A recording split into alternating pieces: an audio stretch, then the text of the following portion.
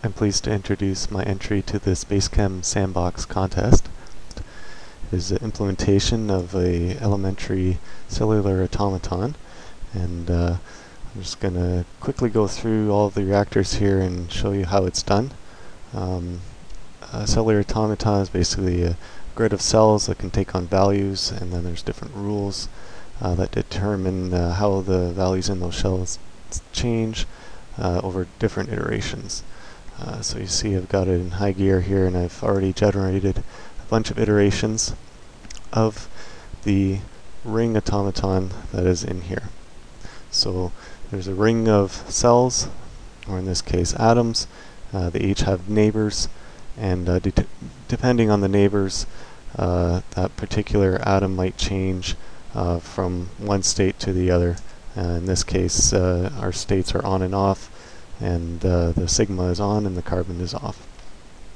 Uh, so the first uh, reactor we'll look at here is the ring reactor. It's basically building the rings out of a stream of single atoms. And then of course we have the printer here showing the ring.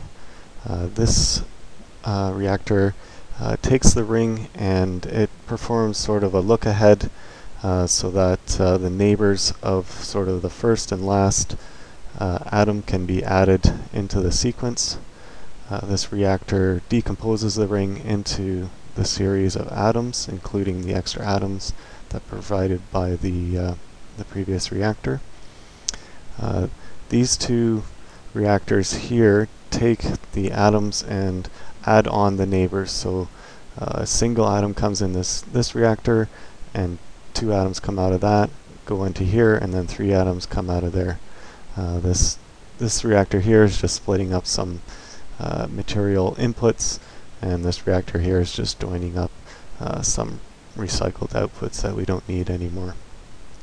And then the main reactor that's doing the work of the cellular automaton is the rule reactor. In this case we've implemented rule 110 and it's it's just taking in those uh, those three atoms and uh, determines uh, the rule and spits back a single atom back into the ring reactor and then it'll do that 12 times and then we have a new ring.